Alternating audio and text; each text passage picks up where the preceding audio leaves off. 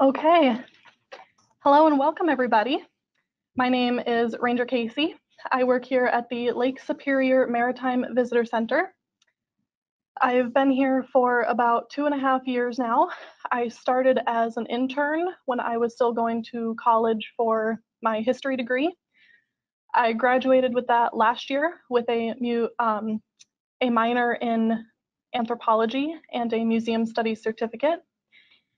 And since working at the visitor center here, I'm very interested in shipwrecks and kind of what's happened to these over the years. So to get started here, we're going to go over a little bit of vocab.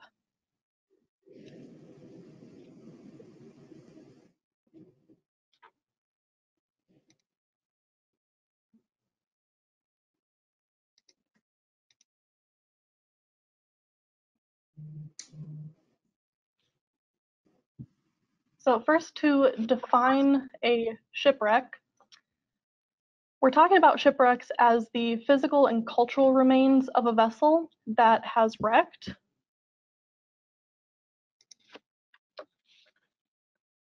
And this can be either accidental or intentional. The bow of a vessel is the front part, and a lot of the vessels that we're kind of going to be looking at they have the pilot house and the control room at the bow. And the stern is the back of the vessel, usually where the engine rooms are. And a couple different words that we're going to use to define wrecks, scuttle, grounding, and scrapping. To scuttle is to intentionally sink a ship. Grounding is when a vessel gets in shallow enough water that it hits the floor of the lake and scrapping is when a vessel is intentionally uh, deconstructed and usually recycled. So we're going to use utilize that chat function. So get it ready. Have you heard of any shipwrecks around Lake Superior? If you have, you can either type in a number or a name.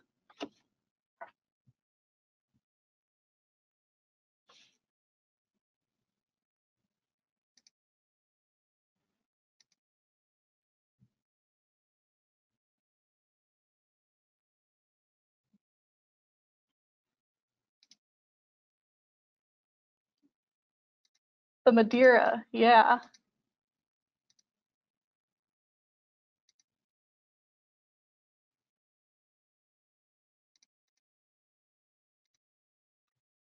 So even further from that, have you heard of any shipwrecks around Duluth and Superior?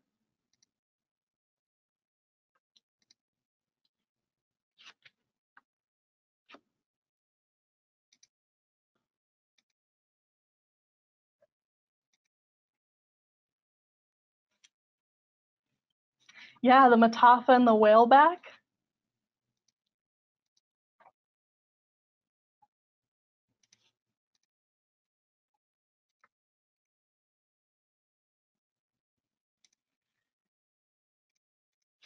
So for today's presentation, we're going to be talking about five wrecks right around here, Duluth Superior. We have the MC Neff, the Thomas Wilson, the Mataafa, the USS Essex, and the Amethyst. And we're going to get started at that first point where the MC Neff is located.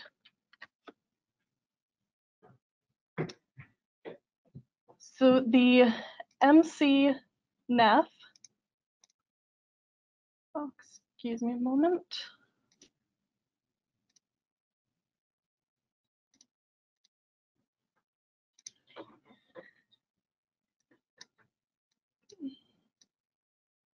The MC Neff was a lumber hooker built in 1888, and she would load lumber, train rails, and other construction materials to be delivered around the area.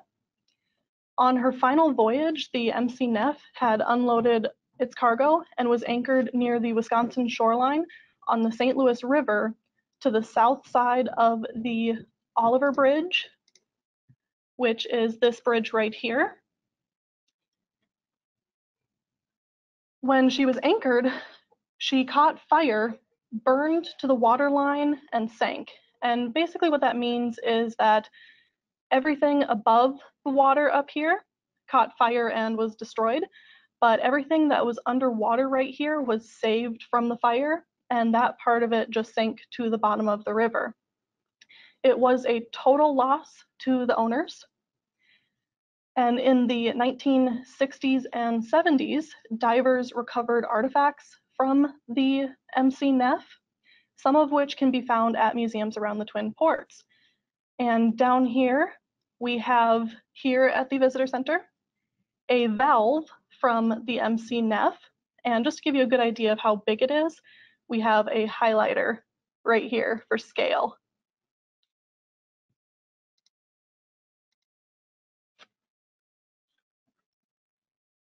So a quick question for you guys if you want to get the chat function ready.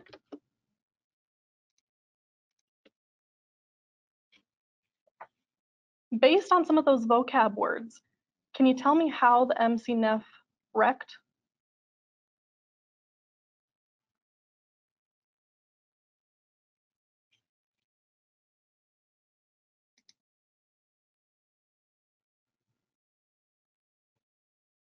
Burned and sank, yeah.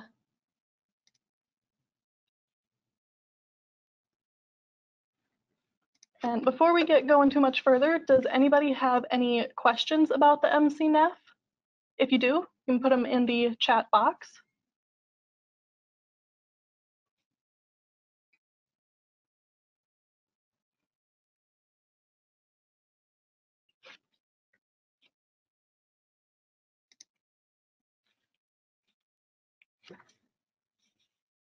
Then the next vessel that we're going to cover is the Thomas Wilson. Oh, good question, Tom. The machinery from the Neff was um, salvaged and taken off. And that's part of how we ended up getting the valve. I guess they didn't need it elsewhere. The next one is the Thomas Wilson, probably one that you guys have heard of before.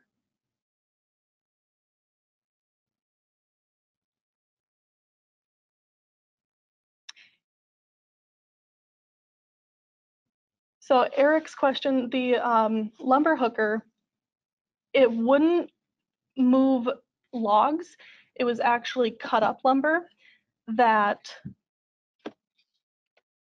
the crane, it's basically a crane on the Neff right here, would load kind of like pallets of lumber from shoreline and then bring them onto the deck of the Neff and then it would be transported and unloaded with that crane? Great question.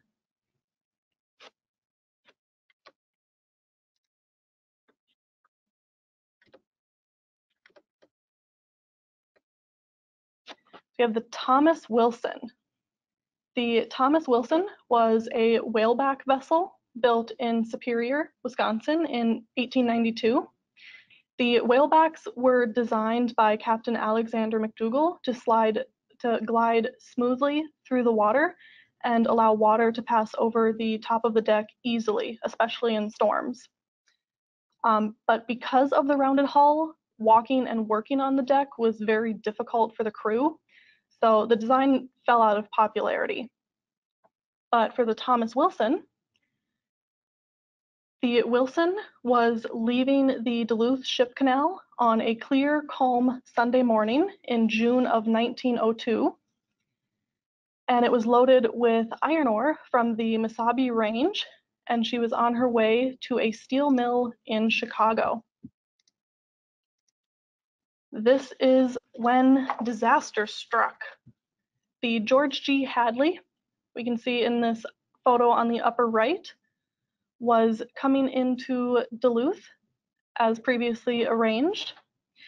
She was intercepted by the tug Annie L. Smith, and the George Hadley was told that your orders have changed. you need to go to the superior entry. About the same time as standard practice, the Thomas Wilson was veering off so that the Hadley had plenty of room to go through the Duluth Canal. Um, during this time, vessels usually communicated with each other with bells and whistles, but unfortunately, the Hadley didn't communicate this change of order. And then before anybody could correct course to avoid collision, the Hadley rammed into the Thomas Wilson just a little ways in front of the pilot house at the stern, leaving a huge gash in the side of the Wilson. The crew on the Wilson knew that this was a bad injury to the vessel, and they all abandoned ship because they knew it was going to go down. And the Hadley's bow was damaged as well. So once they broke free of the Wilson, the Hadley, which was taking on water, grounded itself over on Minnesota Point over here.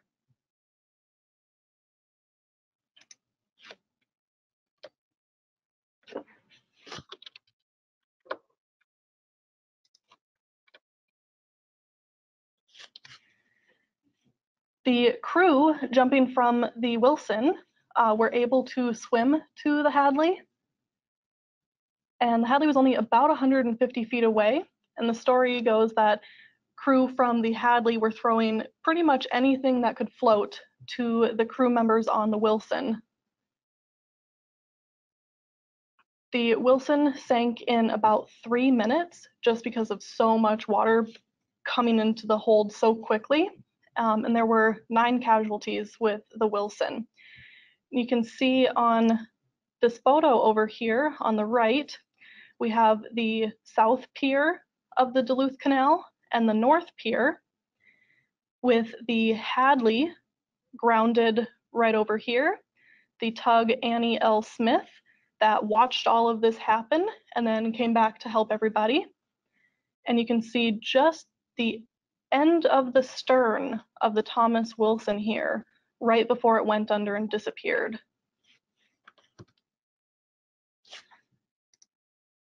And we have another view of the Hadley on the left-hand side here. It intentionally grounded to try to save as much of the vessel as possible. Um, it's a little bit less work to try to raise part of a vessel rather than the whole thing if it went completely under.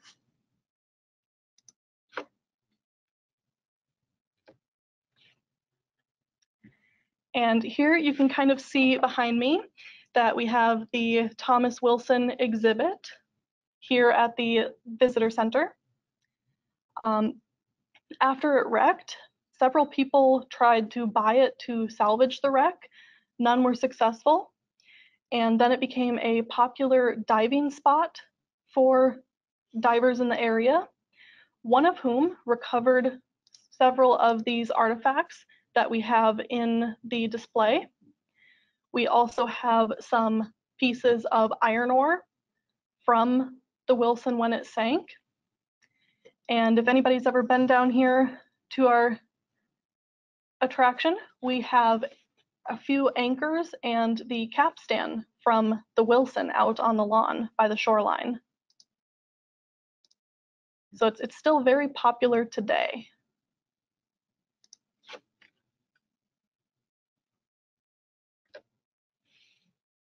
A quick question for you guys. Did vessels have speedy and reliable communication in 1902?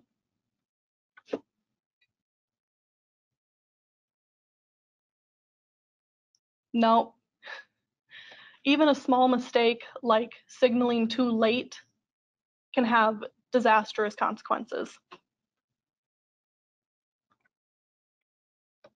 So do you think this wreck could have been avoided?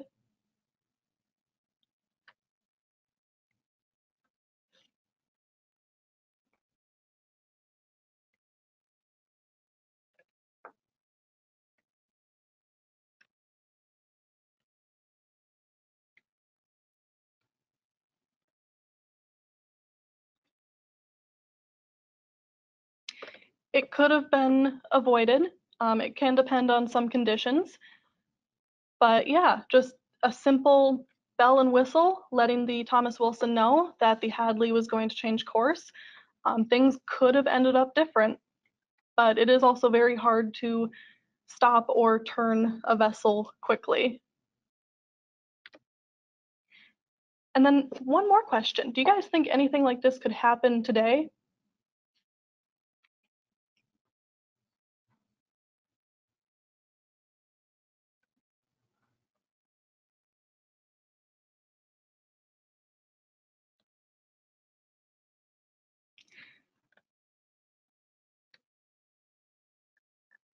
It's it is possible to happen. Um, thankfully, though, with advances in technology over time, like marine radios and satellite, uh, vessels are pretty good about knowing where each other are.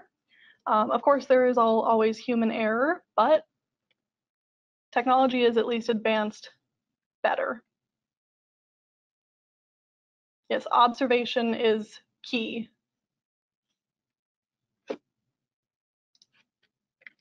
So does anybody have any questions about the Thomas Wilson before we move on?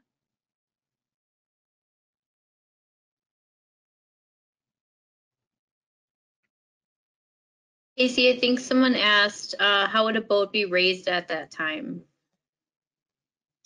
Ooh. I am not actually sure what um, what the technology was back then to raise vessels. I guess it would also depend on how shallow or deep the wreck would have been. If it was shallow, it would have been much easier, of course.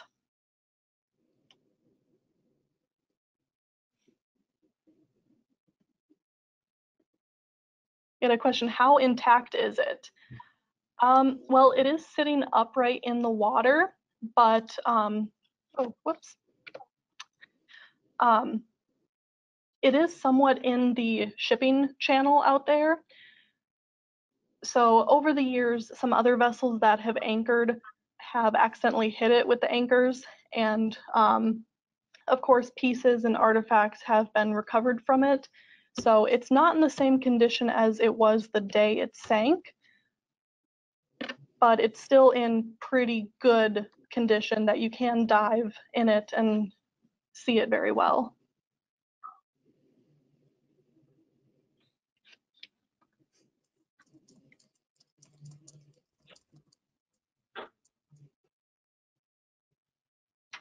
Okay. So now we're going to move to the Mataafa. And that is also right up here at the Duluth Shipping Canal. The Mataafa was a 430 foot bulk freighter built in 1899.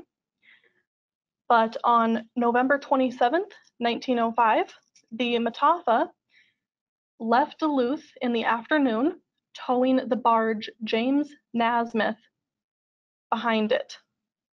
By nightfall, the pair of vessels was up around two harbors when the storm front hit them. They battled to make headway throughout the night in this storm for approximately 10 hours. And by the next morning, the captain ordered that they needed to turn back to Duluth for safe harbor. Um, around noon on the next day, November 28th, the snow began to let up and the crew could see the shoreline. Just a couple miles out of the canal, the captain signaled to the James Nasmyth to drop anchor out in the lake uh, leaving the barge in the lake would prevent the vessels from colliding with each other in the canal, and it was just a little bit safer for the barge to stay out there.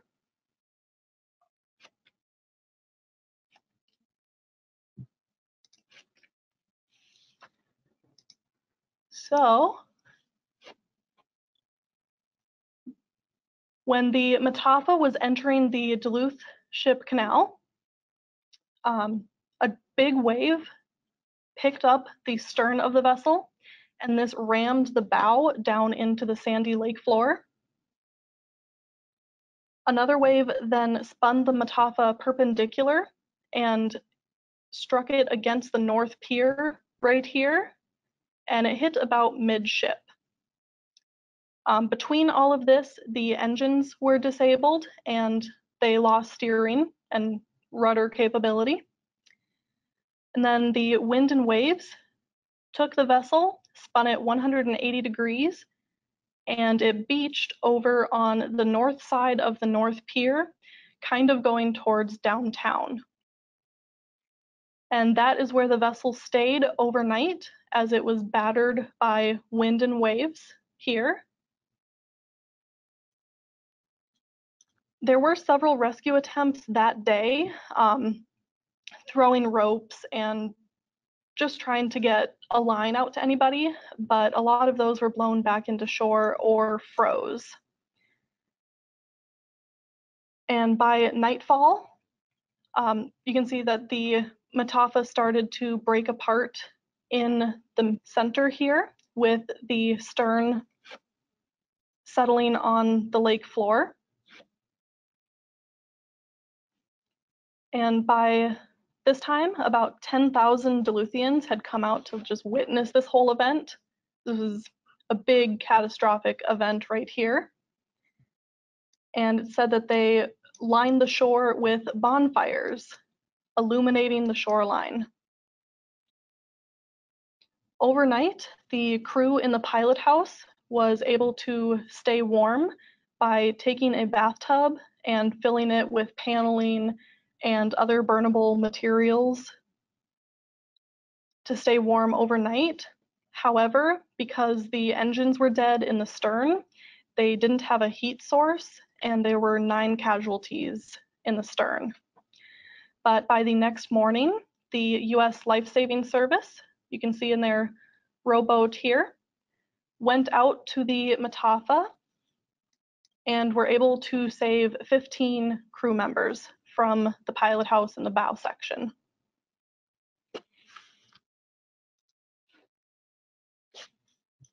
And then this is where the Mataafa stayed all winter, frozen in the ice. And you can see these pictures really kind of show how it was breaking apart in the middle and the stern really settling in the water. And of course, if you see something like this out in the ice in Duluth, you have to go get on it it became a bit of a, a, a bit of an attraction over the winter for Duluthians. Um, however, it didn't stay there long. In June of 1906, only about six months later, it was raised and taken for repair.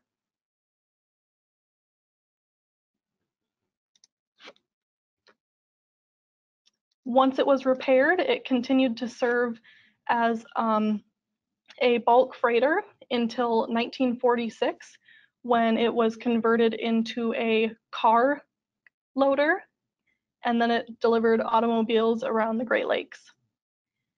And the Mataafa is something that still sticks in local memory. But at the time, they made this cigar box cover dedicated to the Mataafa and it has an illustration here of the Mataafa hitting the North Pier and sitting out in the water in the storm.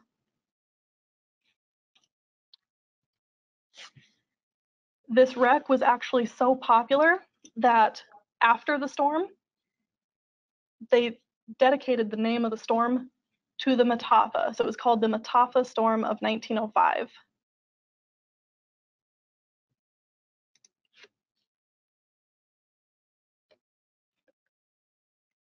So using some of those vocab words we talked about earlier, can somebody tell me why the Mataafa wrecked?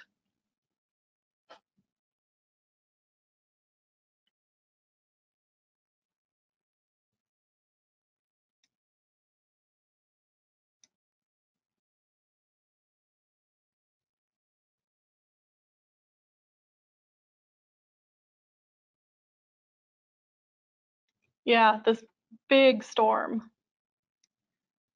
this storm actually um, wrecked another like two dozen or so vessels across the lakes and killed more people. other than just the Mataafa.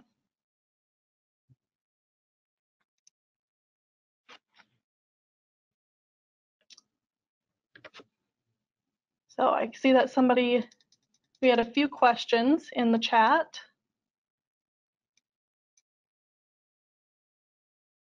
Ooh, the Mataafa, um, I think that's roughly about 20 feet of water where it would have been. Um, the shoreline is, of course, changed since then. So it could vary a little bit.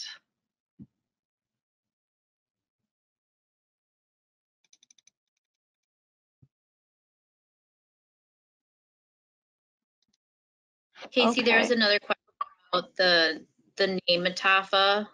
Do you know where that came from? I don't, but that is a really good question.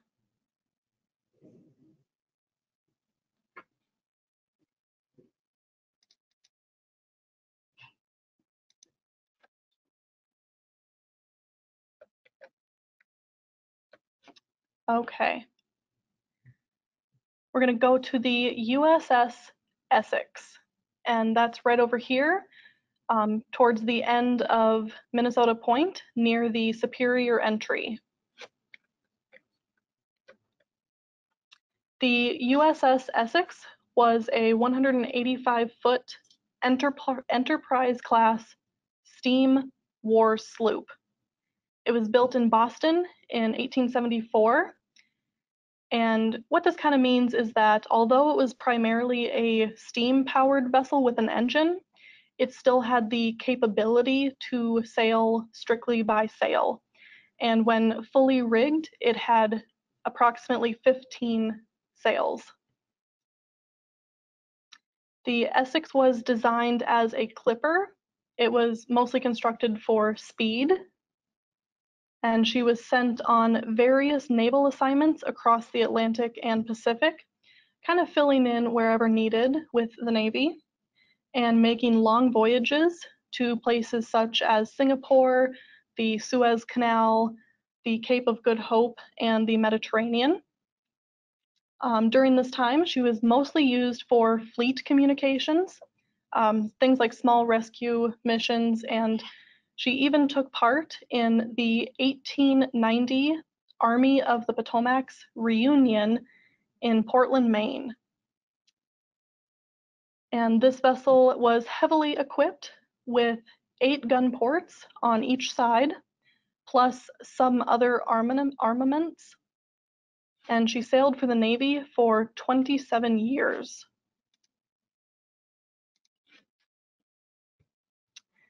And in these couple photos here, you can really see the bow that gave the clipper design just a fast pace through water. You can also see some of those gun ports on the sides. And if anybody notices from the previous photo, the center mast was removed in 1911 and it was installed as a flagpole at Camp Perry in Ohio.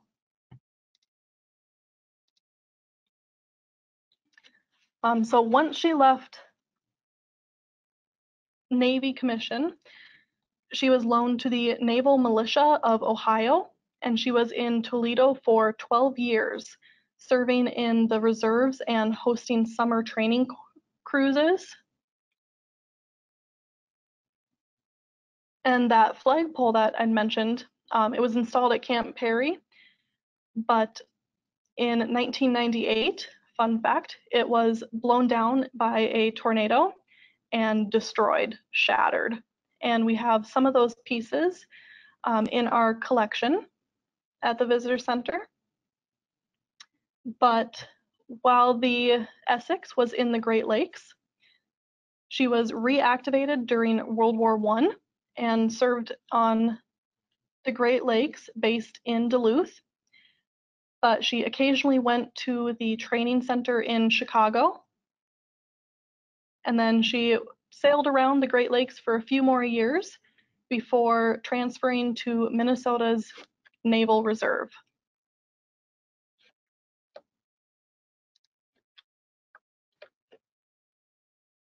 Okay, so then she got to Minnesota and she was permanently anchored in Duluth and she had wooden cabins and office space, office space built above her deck.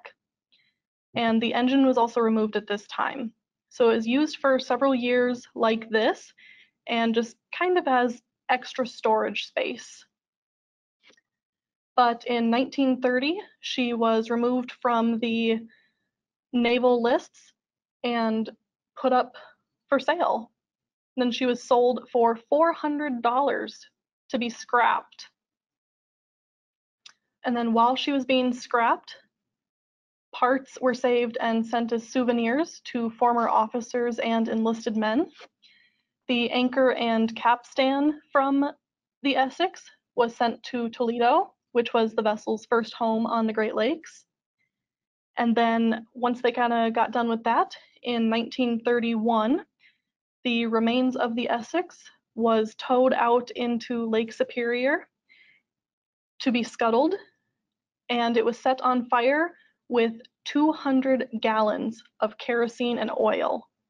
Just an insane amount of fuel. And it was said to have burned overnight.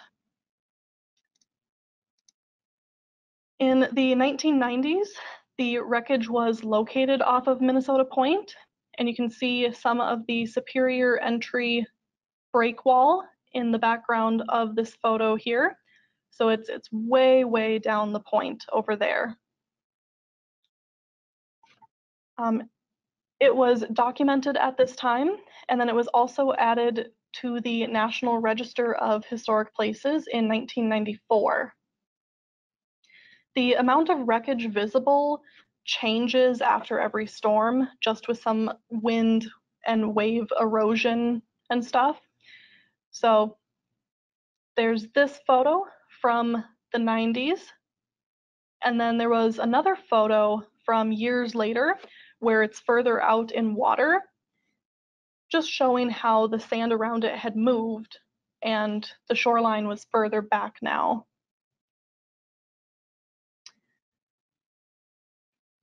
Um, where the wreck is, eventually a wind and waves, ice will destroy it. Um, but right now, people going down the point and potentially um, finding some firewood or souvenirs kind of pose the biggest threat right now. But we do have quite a few artifacts from the Essex.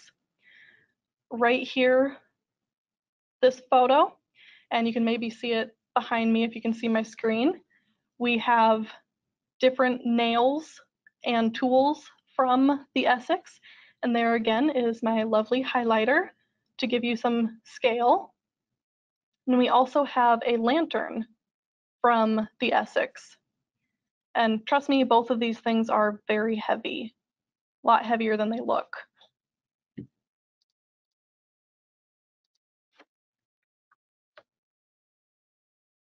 So can anybody define a scuttle for me?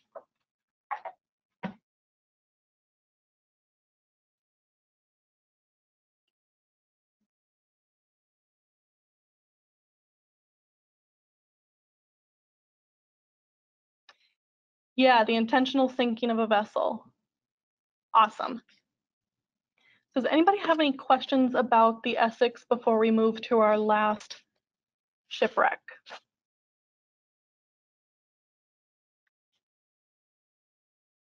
Kasey, there was a question about what was President Abraham Lincoln's connection to the USS Essex?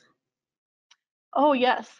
Um, before his assassination, um, President Lincoln authorized that the Navy could build more vessels. Um, that contract wasn't awarded to um, the designer of the Essex. His name was McKay. It wasn't awarded for quite a few more years, but that was Lincoln's connection is he he pretty much said you guys have the money to build it.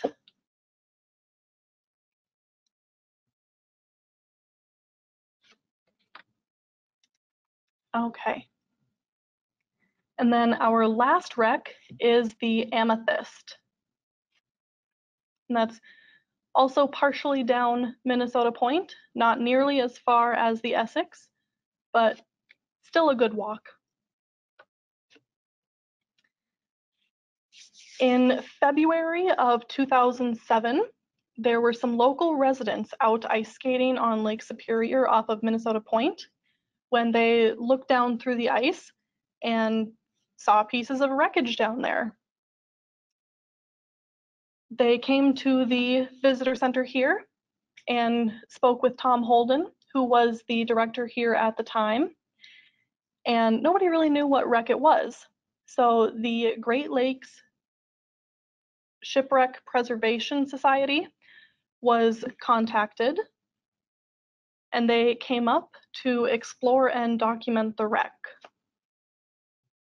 But the Amethyst um, was a 45 foot wooden tug built in 1868. And from the records that we have of it, it was most likely scuttled in 1888. So not very long. And then here we have some pictures of the Great Lakes Shipwreck Preservation Society divers um, diving under the ice in, in February, by the way, in Lake Superior, very, very cold. They measured, photographed, and examined the wreck. And using a bunch of that data, they went back and kind of looked through some other wrecks that didn't have locations. And they concluded that this was most likely the 45 foot tug amethyst.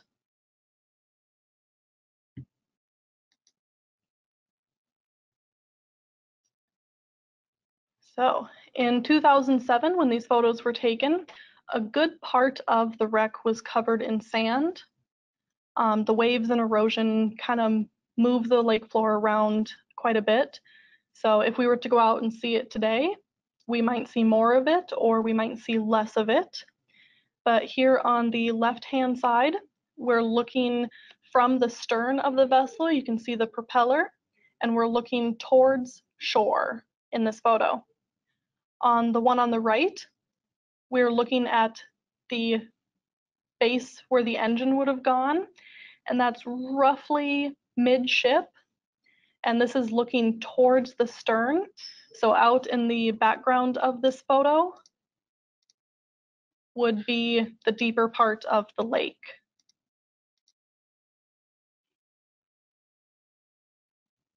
Get your chat function ready. I have another question for you. We talked about another vessel that was scuttled. What was it?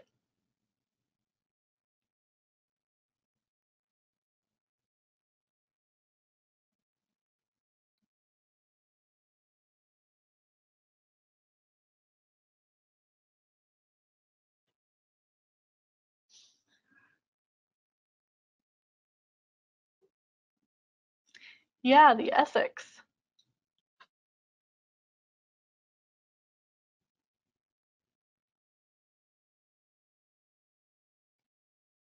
I have a critical thinking question for you guys. Why do you think vessels were scuttled in the lake and not in harbor? Do you have any ideas on that?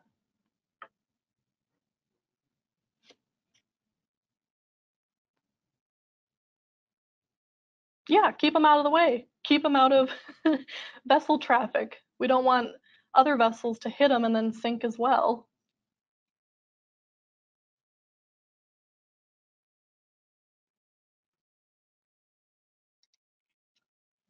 Okay. Does anybody have any questions about the amethyst?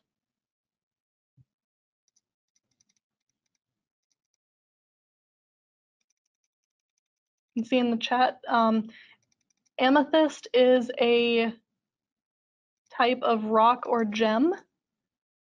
I am not a geologist.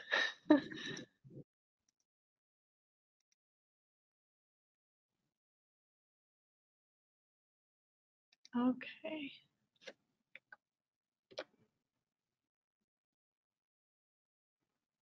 And so we're just kind of looking at, again, these are the five wrecks that we covered. The MC Neff, which burned to the waterline and sank back by the Oliver Bridge up the St. Louis River.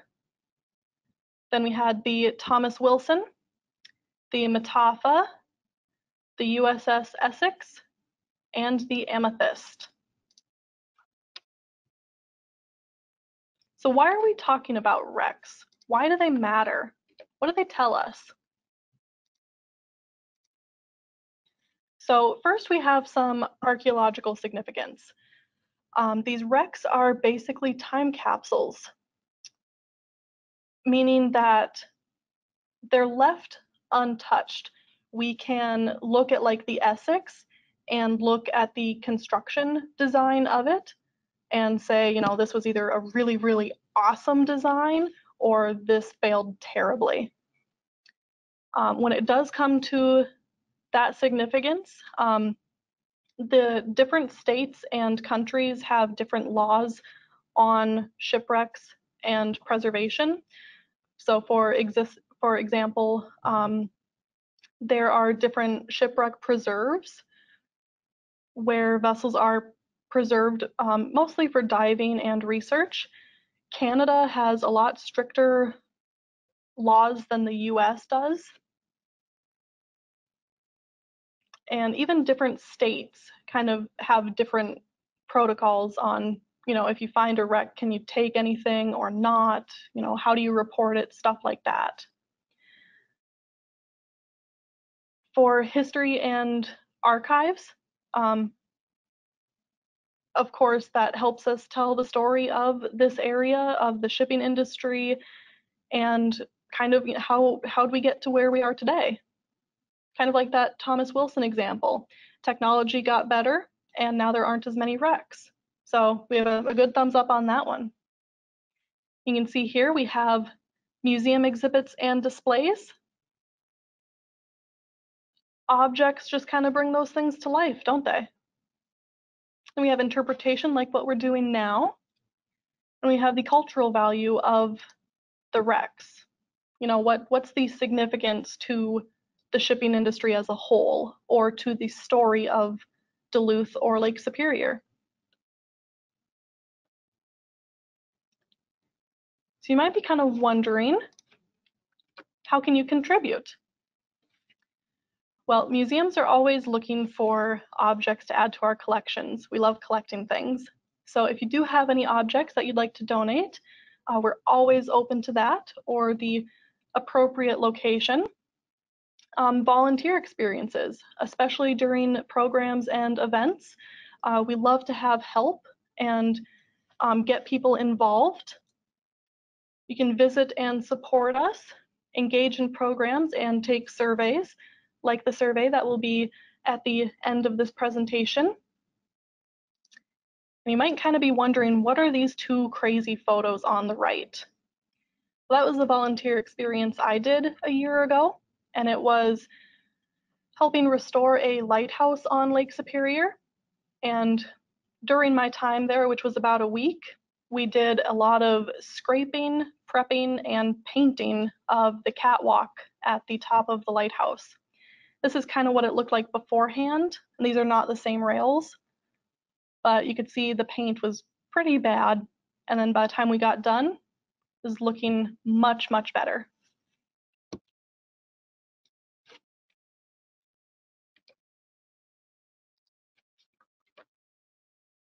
And then I put some sources on here for you guys, not sources, but more, more to explore. Um, in Duluth, we have the Meteor Museum as well as the William A. Irvin. Um, you will want to check on local guidance to see what is open and what is not. The SS Meteor is the last whaleback vessel in existence, so just like the Thomas Wilson, but this is the only one that is now above ground. The US brig Niagara is a sailing training vessel, similar to what the USS Essex was used for. And then if you're very interested in shipwrecks, there is the Great Lakes Shipwreck Museum on Whitefish Point, and you can look at the Great Lakes Shipwreck Preservation Society. Then about a year ago, the Michigan DNR released an interactive map of shipwrecks on Lake Michigan waters. And so here's that link there. If you guys want to take a screenshot or a photo with your phone, um, it is a very cool interactive map. And then if you're going to be around the Twin Ports at all, we have the boat schedule right at the bottom here.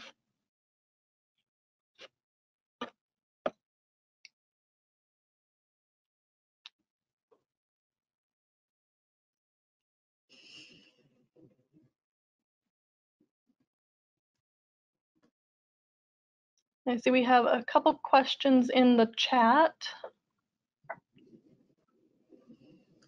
Let's do the questions in a minute. Um, I just wanted to point out to everyone, give us, give everyone what a, or a status on what our respective visitor centers are doing now. Uh, at both the Lake Superior Maritime Visitor Center in Duluth and the Soo Locks Visitor Center in Sault Ste. Marie, we're both providing outdoor interpretation. So while our buildings are still closed, uh, we have staff outside at both locations to answer questions and provide uh, information about vessel schedules and um, tourist information. Our location in Duluth also has a cell phone tour that you can uh, participate in. There's currently five stops, but we're adding about seven more. So, uh, so you can learn a little bit about the different attractions down here in Canal Park. Uh, the Soo Locks Visitor Center was installed uh, their inside exhibits outside in their park. So you, you can, as you're exploring the park there, you can check out what what you would normally see inside. Uh, and we don't have any set dates yet for our opening for opening our visitor centers, but we will do so when state and local um, guidance, when we can comply with their guidance and health conditions permit. And then one more slide here. Okay, so again, next week we're gonna talk about winter work at the Locks. Ranger Michelle from Locks in Sault Ste. Marie is to tell us what happens in the winter at the Locks, all the maintenance and projects that they do. That will be next Thursday, July 9th at 12:30 p.m. Eastern or 11:30 a.m. Central. And on the right, there are a number of links that you can learn more about what our visitor centers do and what the Detroit district, uh, the Army Corps of Engineers and Detroit district does as well as uh, our web pages and the district has a YouTube channel where all of the recorded videos or recorded programs can be found. So if you missed or are interested in seeing some of our past programs, they are all located on the Detroit District YouTube channel. We also have a an email list if you're interested in getting email updates about our programming and other information. You can send a message to hello lsmvc at gmail.com. And then we've also got this uh, survey that we'd like to ask everyone to take if you have time. It's about uh, probably less than five minutes long, and it'll just give us a little bit of um, more data and uh, help us in planning our future programs. So I'm going to put this link on the chat here, and uh, then we can start doing our final questions.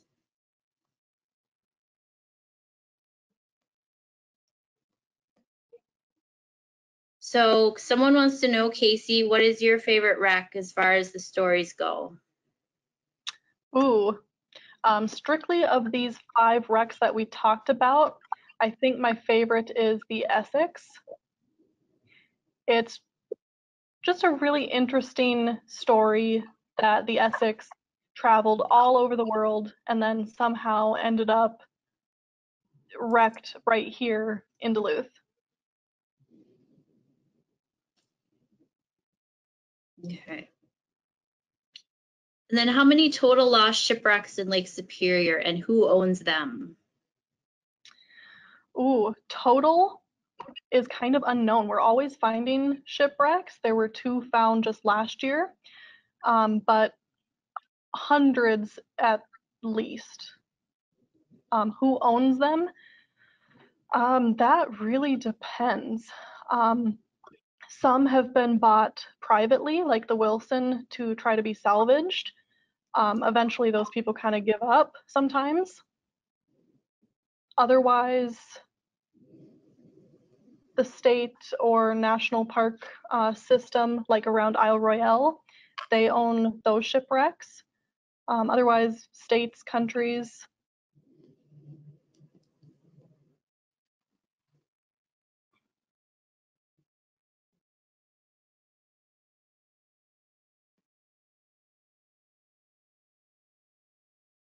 Okay, and kind of related to that, uh, is it illegal for divers to remove artifacts from shipwrecks?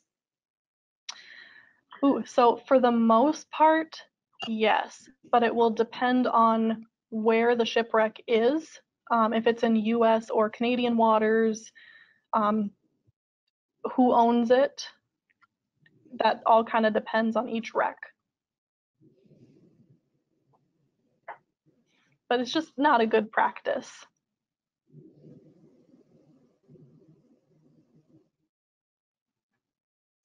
Okay. Uh, what shipwreck artifacts are on display in Canal Park? Ooh. Right here in Canal Park, um, outside we have anchors and the capstan from the Thomas Wilson. Um,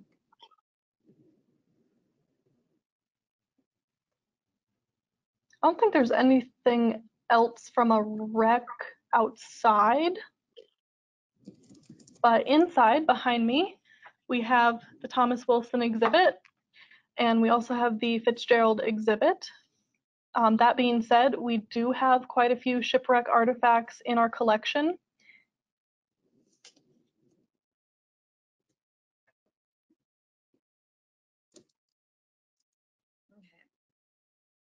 And is the area around Duluth a federal underwater sanctuary? Not to my knowledge, no. All right, I don't see any more questions coming in. Uh, thank you, Ranger Kasey, for providing that program. And uh, thank you, everyone, for participating today. Uh, watch our social media pages for the recorded program if you'd like to check that out, or visit the USACE Detroit District YouTube channel to check out some of our past presentations as well. Uh, again, thank you for participating today, and uh, I hope you all have a good holiday weekend and stay safe. Thanks, everyone.